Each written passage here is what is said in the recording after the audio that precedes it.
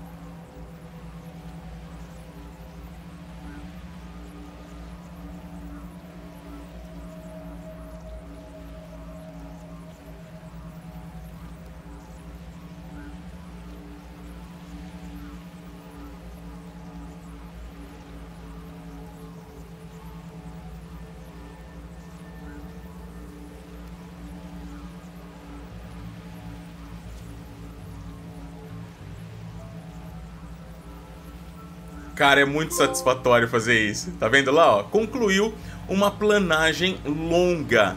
Dropou o troféu belezinha, né? Aí deixa eu mostrar pra vocês, mano, uma região legal pra vocês poderem fazer isso, pessoal. É aqui, ó. Ó, eu tô vindo pra cá. Tá, onde eu tô agora, nesse momento, ó. Eu tô bem aqui, ó. Tá vendo? Tô bem aqui, foi onde eu ganhei o troféu. Onde eu peguei, ó, eu subi com o Heliodo, até aqui mais ou menos, ó. Você pode pegar como base esse tirânico, tá? Esse local de tirânico. Sobe aqui um pouquinho, tem até uma fogueira aqui pra te ajudar, ó.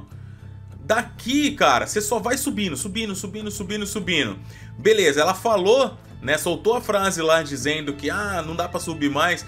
Mano, pula e solta o controle. Eu pulei mirando pra cá, ó, mirando pra a boca da arena, tá ligado? A arena do jogo das máquinas. E vim. Descendo, descendo, descendo. E vai mais que um minuto, mano. Ó, vai embora, ó. Não desceu ainda. Beleza, galera? Então é isso aí, é muito simples. Vamos dar uma olhada aqui no troféu rapidão. É só você saber o local certo pra você poder fazer e não tem erro não, cara, ó. Tá na mão. Olha que belezinha. É isso aí, molecada, beleza? Um forte abraço, tudo de bom, fiquem com Deus, até o próximo vídeo, se Deus quiser. Valeu!